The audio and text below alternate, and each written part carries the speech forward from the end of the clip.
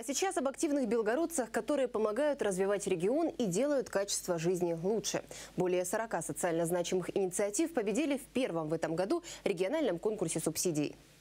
С руководителями и сотрудниками некоммерческих организаций, которые их представляли, встретился Вячеслав Гладков. Среди проектов – просветительские молодежные, популяризирующие семейные ценности, направленные на патриотическое воспитание и здоровый образ жизни.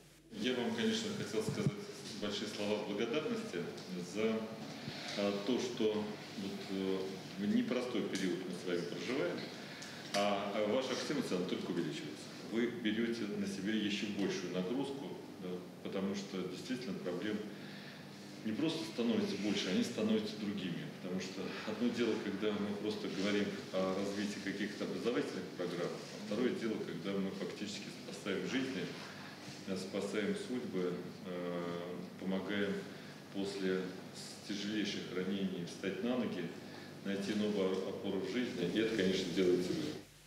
Премиальный фонд в этом году 80 миллионов рублей. 60 миллионов распределили между некоммерческими организациями. 20 получили органы территориального общественного самоуправления разных муниципалитетов.